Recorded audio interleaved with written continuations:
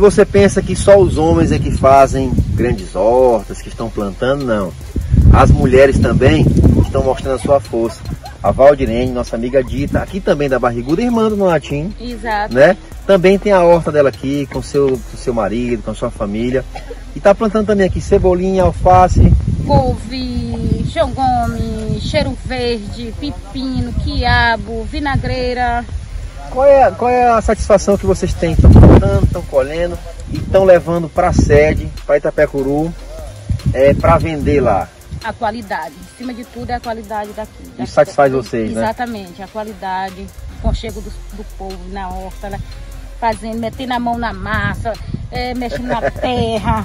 tá É mostrando que a mulher também Também faz, faz, também, também trabalha, trabalha. tem força. Olha, vocês estão de parabéns porque têm que fazer, independente do tamanho, independente Exato. da dif- das dificuldades que Exato. tem, as pessoas têm que começar de algum lugar. E no Latim começou agora há pouco tempo, né? Foi, pouco E aqui tempo. vocês estão há quanto tempo com essa horta? Não, eu comecei primeiro do que ele. Sim. Começou, eu acho que eu tô com uns quatro meses. Esse pouco tempo já deu para ter um retorno bom. Deu. Exatamente, deu.